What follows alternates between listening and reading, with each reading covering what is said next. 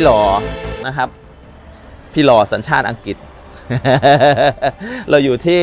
MG ครับ MG นครหลวงสาขานครปฐมนะครับ เส้นต้นถนนมาลายแมนนะครับนะขอบคุณด้วยที่ศูนย์นี้ช่วยอนุเคราะห์ให้เราผ่านช่างป้อนะครับ แล้วก็ท่านผู้จัดการให้เรามาทดลองขับนะครับ ตัวนี้จริง ๆ ก็วิ่งกันเต็มบ้านเต็มเมืองแล้วหลายท่านคงรู้จักนะครับ ตัวนี้เป็น MG ZS นะครับ CS หรือ ZS นะครับเอ่อสนนราคาเนี่ย เกือบเกือบ8 0 0 0 0 บาท ตัวนี้จริงๆมี 3 รุ่นคือ 4 4X แล้วก็ L หรือ D ถ้าจำไม่ผิดถ้าจำผิดขออภัย มันมีรุ่นย่อย 3 รุ่น ตัวนี้เป็นตัวท็อปสุดราคา 789 000 789,000 นะครับนะหล่อไม่หล่อท่านพี่นาเองครับผมว่ามันก็หล่อมันคล้าย มันคล้าย SUV แบรนด์ญี่ปุ่นแบรนด์หนึ่งที่ราคาตั้งราคาตัวท็อปตั้งเกือบล้านแปดนะครับนะอันนี้มันก็จะดูย่อมเยาลงมาหน่อยที่สำคัญคือราคาเนี่ย เอ่อน่าคบหามากมายนะครับนะอะไม่พูดพร่ำทำเพลงนี่หน้าตานะครับ ก็กระจังหน้านะครับ โลโก้ก็ดูเอาแล้วกันนะครับนะไฟตัดหมอกไฟหน้าก็เป็นแบบ HID นะครับนะมีไฟ daylight ไฟเลี้ยวฝั่งอยู่ตรงนั้นนะครับอ้าวตามมาตามมาล้อนะครับ เป็นล้อขอบ 17 เนาะยาง 215 50 17 ตัวนี้ให้ยางโยโกฮาม่า Advan DB Decibel มานะครับ ก็ โอ้ ไม่ธรรมดา อันนี้อะไรไม่รู้รู้แต่เท่นะครับนะตามนี้อะดูรอบคันก่อนนะครับ ไฟท้าย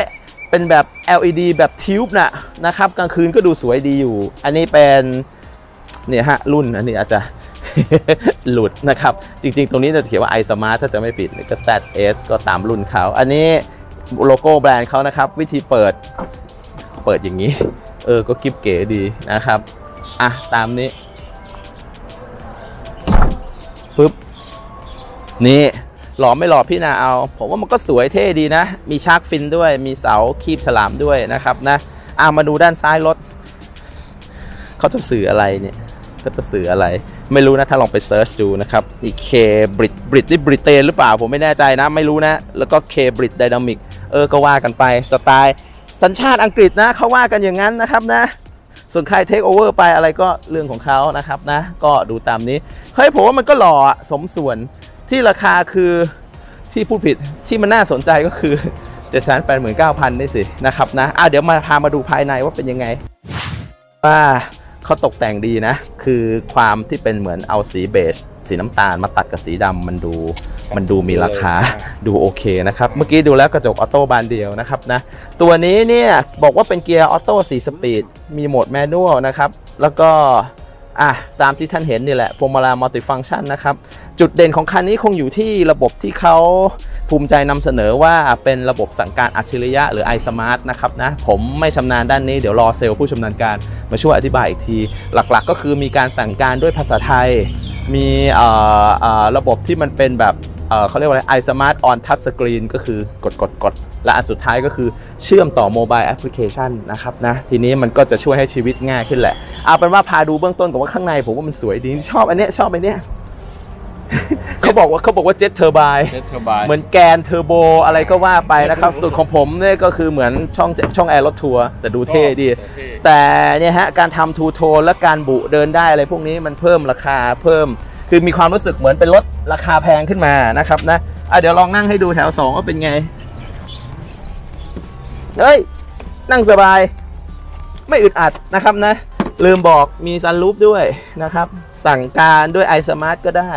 นะครับนะ ก็เฮ้ย roof ยันแถวสองอะโอเคนะเนี่ยโอเคอะจะได้ ลืมบอกคันนี้รู้สึกจะถุงลมนิรภัย6ใบด้วย ก็คือคนขับคนนั่งใต้เข่าคนขับแล้วก็ม่านนะครับอุ้ยอุ้ยโทษโทษไม่มีใต้เข่าโทษทีเลยเป็น 6 ถ้ามีใต้เข่าเป็น 7 นะครับสี่บาทครับ auto บานเดียว เออ auto บานเดียวใช่ถุงลม6ใบยกเว้นใต้เข่าคนขับ คือมีคนขับคนนั่งข้างข้างแล้วก็ม่านม่านไม่มีใต้เข่าคนขับนะครับกระจก auto บานเดียวเนาะเออ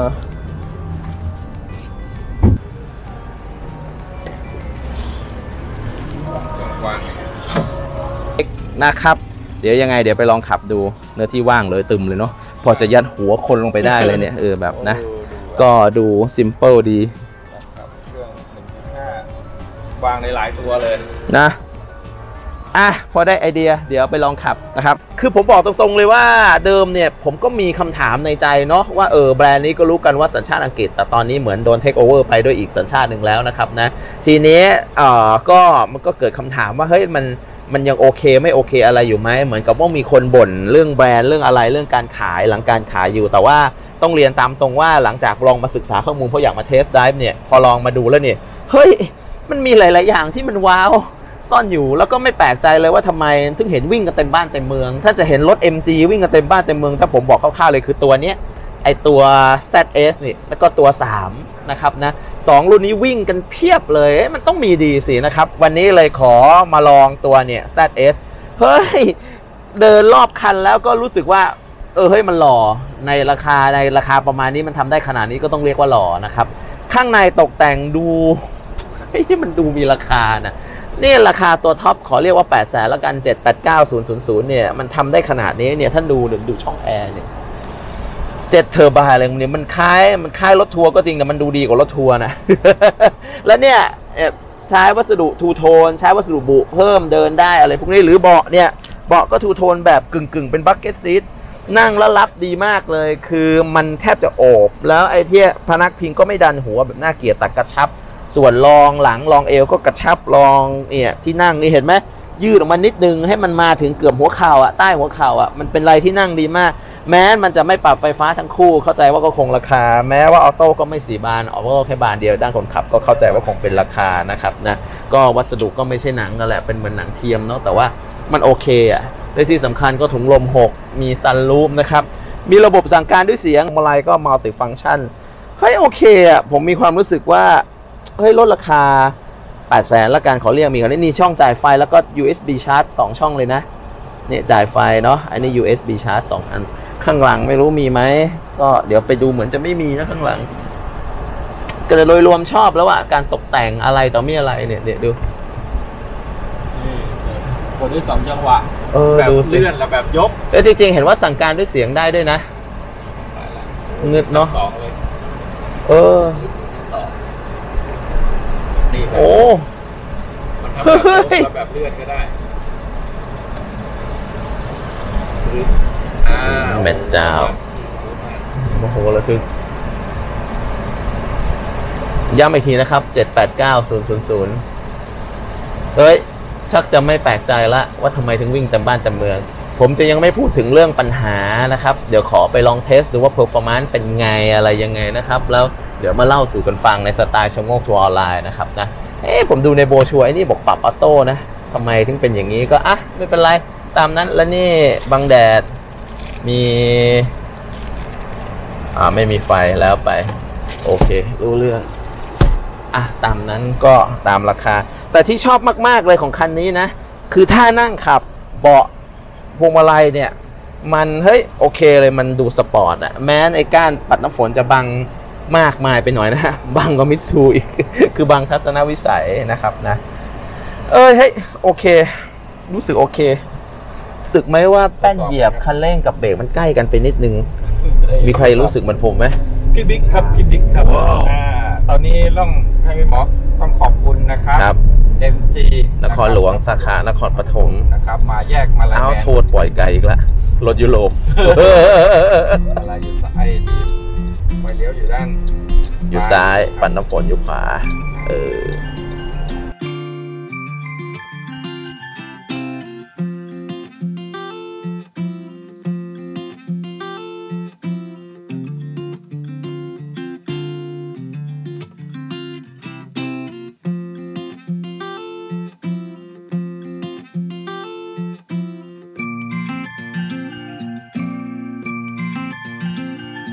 ครับระหว่างการจราจรติดขัดนะครับ ก็ครับแหมทำความรู้จักกันตอนนี้เราอยู่บนนะครับ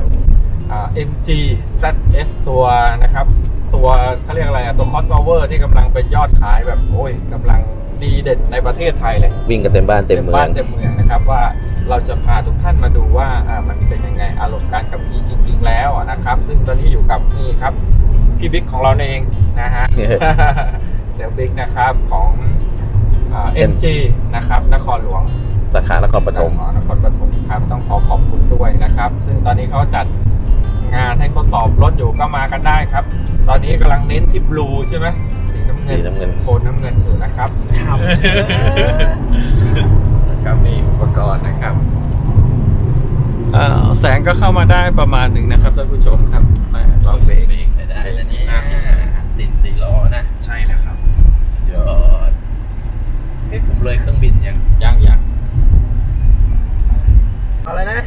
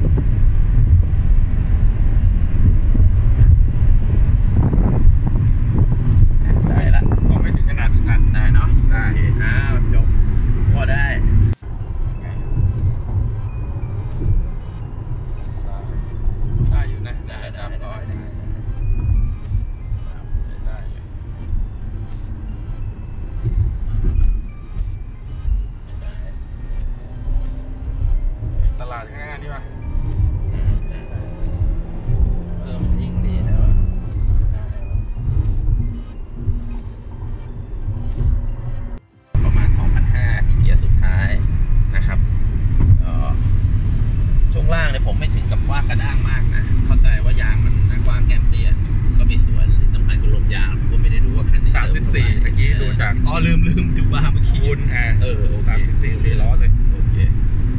ใช้ได้อะถ้าคนขับค่อนข้างเร็วเนี่ยก็จะชอบ ถ้าคนขับหาความนุ่มอาจจะเอ๊ะกระด้างไปหน่อยนะอะไรอย่างนี้อันนี้มันแล้วแต่ท่านเนาะเออลองไปพิจารณา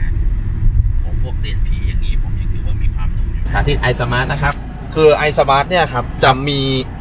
ทั้งหมดนะฮะครับสามรูปแบบก็คือตรงที่หน้าจอครับเมื่อเรากดเข้าไปที่อ่าหน้า หน้าจอแล้วเนี่ย ครับจะมี iSmart ก็จะมีอ่าพวก Navigator ครับพวกอ่าเพลงออนไลน์ ซึ่งอ่ากดเข้าไปก็จะเป็นของพวก True Music นะฮะอ่า เพลงจะอยู่ในลิขสิทธิ์ของเขาเลย ครับ ส่วนเรื่องระบบนำทางตรงนี้ก็จะอ่าเขาจะโคกับพวก Agoda แล้วก็วงในด้วย พวกอืมโอ้หาของกินร้านอาหารพวกนี้ได้จุดเที่ยวอะใช่แล้วครับโอเคครับ อ่าส่วนอันดับแรกเลย ถ้าทดสอบอาคำสั่งสั่งด้วยเสียงเนี่ย ครับ อันดับแรกก็คือจะสั่งได้สองอย่างก็คืออ หนึ่ง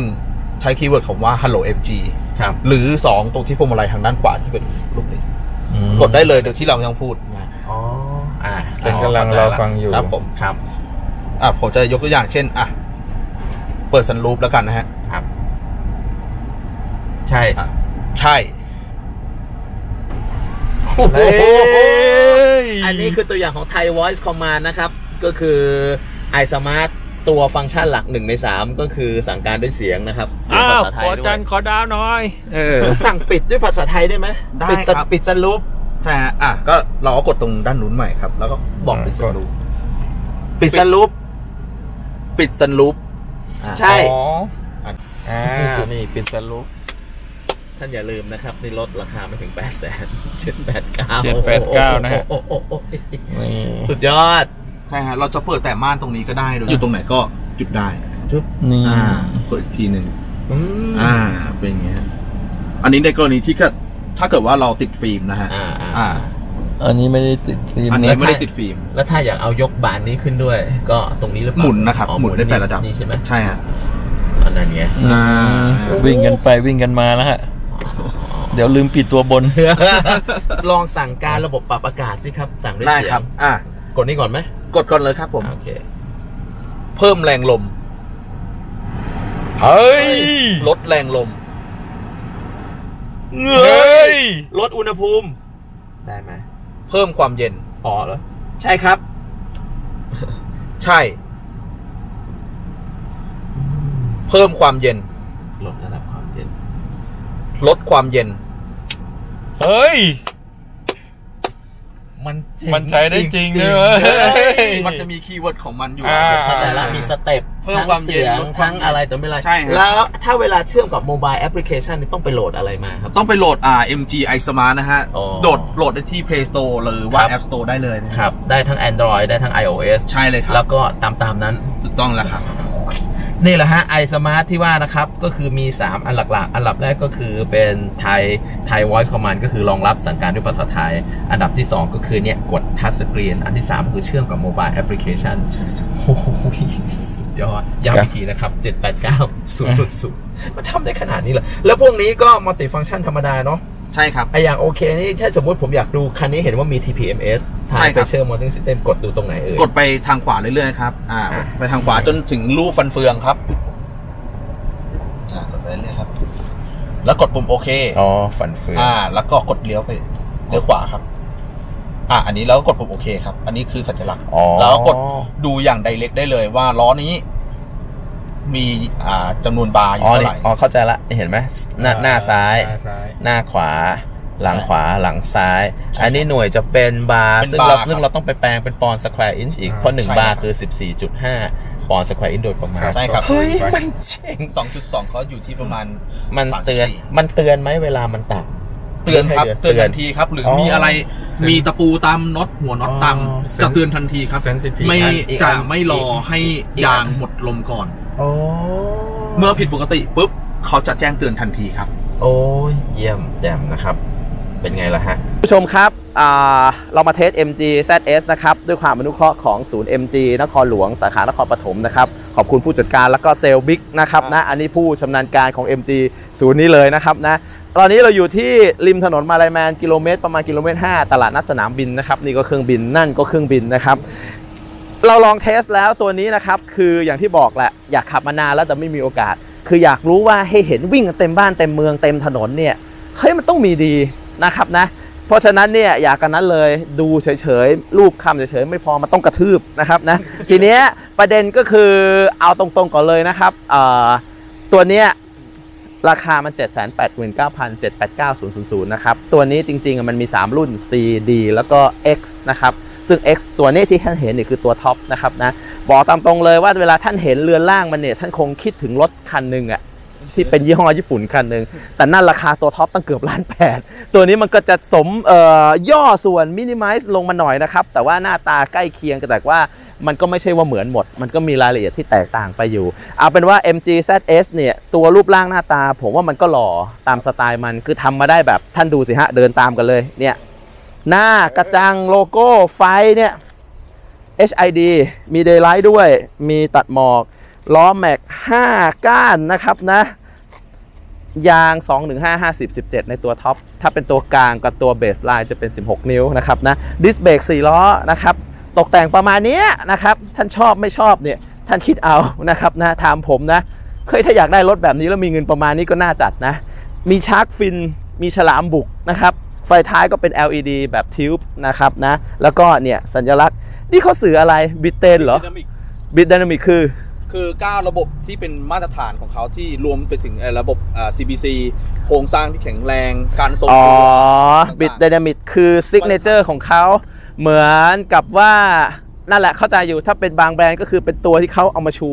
นั่นเองเหมือนถ้าเป็น Honda Honda Sensing อะไรอย่างเงี้ยเดานะประมาณนี้อะไรอย่างงี้งั้นบริตนี่คือบริเตนเหรอ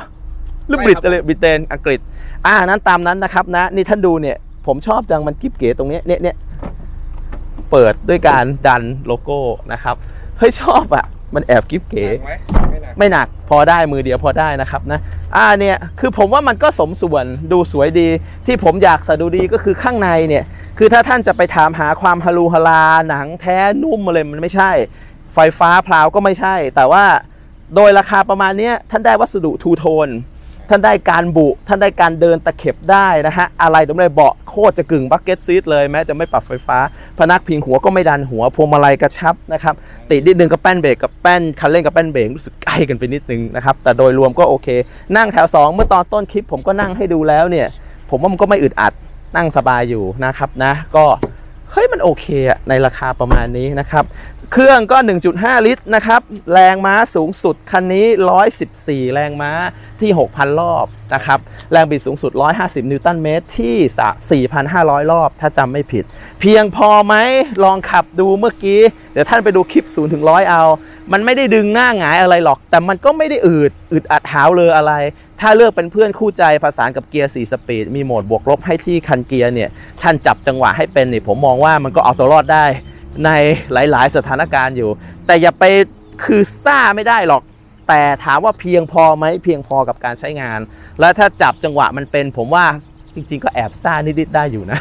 สิ่งที่อยากจะเชิดชูก็คือไอ้ช่วงล่างที่ว่ากันว่าจุดขายเขาคือ European Tuning Style เนี่ย หรือ European Tuning Suspension เนี่ยลองดูแล้วเนี่ยเออเออคือถ้าจะบอกว่ามันหนึบเป็นรถเกือบ 2 ล้านในหลาย ๆ คันที่เป็นเหมือนเอ่อ SUV ตัวโตกว่านี้คงไม่ใช่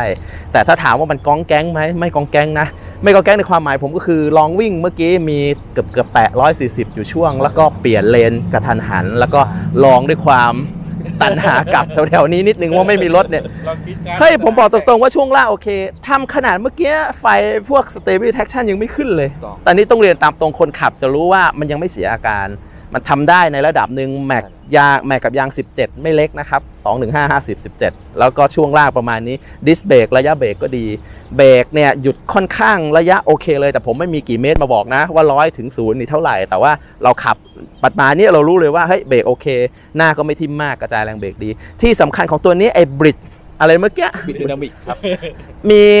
เอ่อระบบช่วยเหลืออะไรเพียบนะครับ เรื่อง safety ทั้ง Active ทั้ง Passive คันนี้ ABS EBD BA ถุงลม 6 ใบ ยกเว้นใต้ขาคนขับ แต่มีคนขับคนนั่งข้างข้างม่านม่านขาดแค่ใต้ขาคนขับ แต่นี่ก็ว้าวแล้วในราคา789000 นะครับ ABS EBD BA แล้วมันยังมีเค r ร์ฟ